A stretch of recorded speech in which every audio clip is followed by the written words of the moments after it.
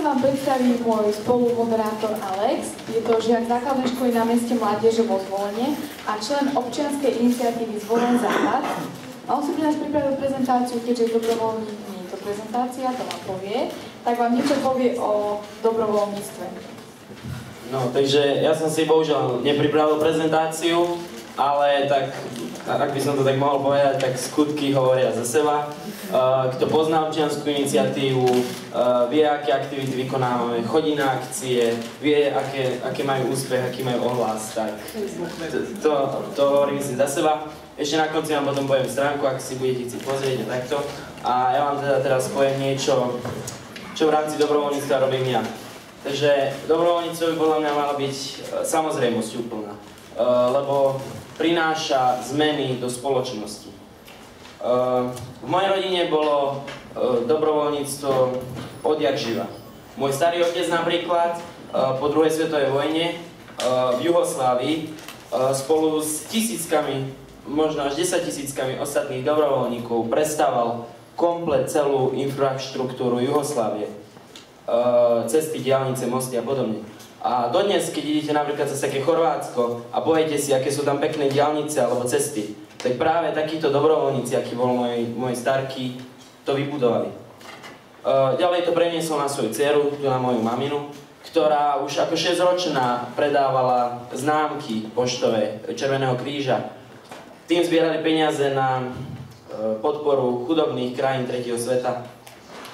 A ďalej to preniesla mamina na mňa, ktorý sa teda snažím pomáhať občianskej iniciatívy, či už propagačne, organizačne, technicky alebo inak. Um, dobrovoľníctvo musí byť štepované výchovou. Netvrdím, že od útleho veku, ale lebo napríklad samotná naša pani riaditeľka základnej školy na námestí Mládeže uh, ide príkladom svojim žiakom tým, že jednoducho je súčasťou programu občianskej iniciatívy učí tie deti, že dobrovoľníctvo je vážne to, čo tie zmeny spoločnosti prináša. E, to, čím sa líši dobrovoľník od obyčajného človeka je to, že není pasívny, není pasívny voči okoliu, v ktorom žije. Lebo človek nemôže čakať, že ak mu niečo prekáža, vadí, alebo chce niečo zmeniť, že buď bola tá zmena príde sama od seba, alebo že tú zmenu robí niekto za ňou. To proste nejde. Musia ľudia vyštartovať. Musia, od nich to musí ísť. No a už, neviem, to by, už to by už asi bolo všetko z tej slovenskej časti. A už by som to teda povedal po chorvátsky. A potom už bude prestávka všetko. Takže, mora biti normalna stvar za sve ljude.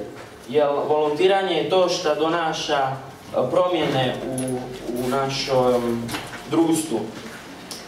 U mojoj familiji je bilo volontiranje potpuno normalno, prirodno. Uh, moj djed je uh, sa tisućama ostalih dobrovoljaca uh, pregradio infrastrukturu Jugoslavije poslije drugog svjetskog rata.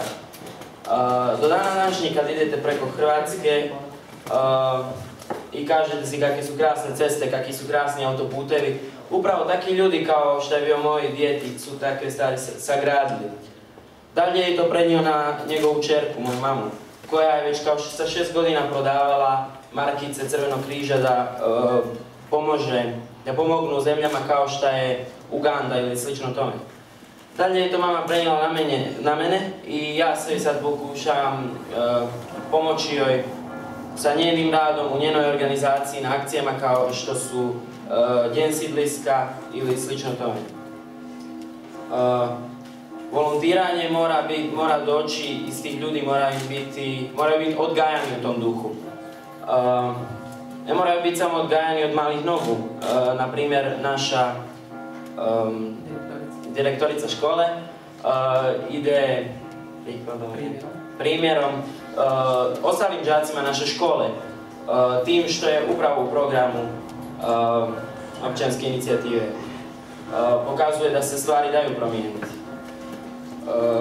To čim se liši, razlikuje voluntir od običnog čovjeka je to da nije pasivan. Nije pasivan k tome šta se dešava u njegovoj okolini, в njegovom društvu ili bilo čemu drugome. I ne znam više šta da kažem, tako da ću vam reći hvala za, za pažnju.